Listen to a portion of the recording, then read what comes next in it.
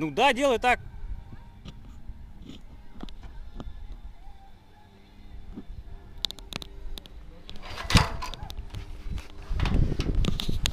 Что-то не достало нифига.